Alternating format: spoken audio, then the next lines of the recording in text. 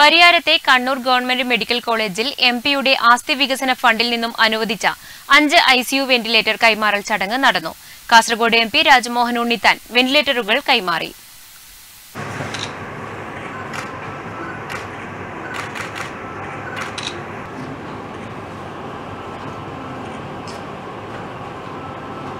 അറുപത് ലക്ഷം രൂപ ചെലവഴിച്ചാണ് M P ഫണ്ടിൽ നിന്നും വെന്റിലേറ്റർ അനുവദിച്ചത്.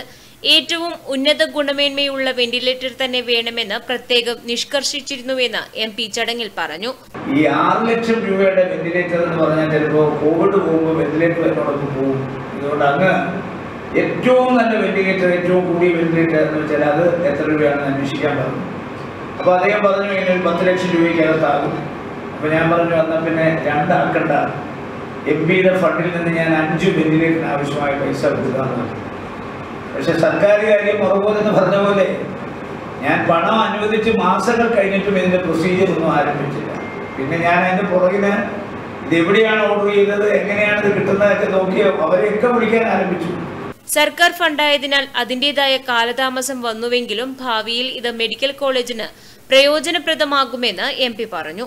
Medical superintendent doctor K Sudeep report അവതരിപ്പിച്ചു. Principal in charge doctor S Ajith doctor S Rajeev ആശുപത്രി ഉപദേശക സമിതി അംഗം advocate Rajeevan Kappacheri doctor K P Santhosh Kumar തുടങ്ങിയവർ ചടങ്ങിൽ സംബന്ധിച്ചു.